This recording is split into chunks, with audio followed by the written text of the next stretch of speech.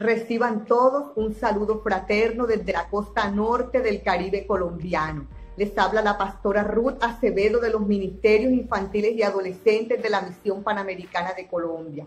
Un saludo muy especial al pastor Ubaldo y su familia y a Cristian, nuestro director nacional. Y también paso a saludar a todos los pastores, coordinadores y tutores de los demás convenios con Nueva Generación igual a nuestros aliados, que también formamos esta gran familia. Los ministerios infantiles y adolescentes de la costa norte de la Misión Panamericana de Colombia damos testimonio que en medio de esta pandemia no nos hemos detenido. Por la gracia y la misericordia de Dios, hemos podido recoger el material donado por la Fundación Cristiana Nueva Generación, haciéndolo llegar a nuestros niños y adolescentes en todos los sectores de la costa norte.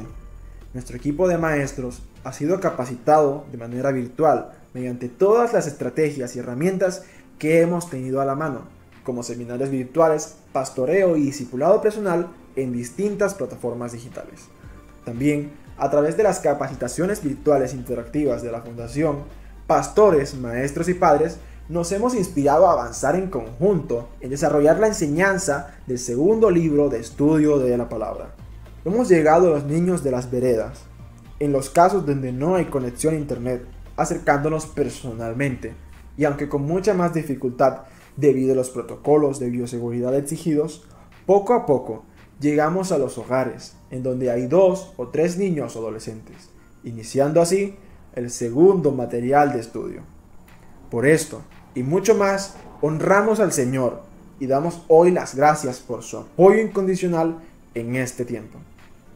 Nuestra principal proyección para el 2021 y de ahí en lo adelante es incentivar mucho a la lectura, desde nuestros pastores, coordinadores, tutores y nuestros niños y adolescentes. Yo alabo a Dios por cada material que tenemos en nueva generación, porque viene cargado de principios de la palabra de Dios que los incentivará a ellos a ir más a las escrituras.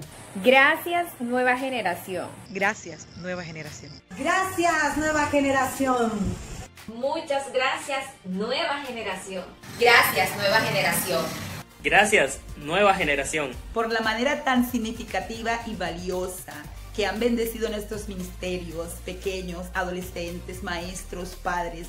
Hoy les bendecimos y les decimos gracias.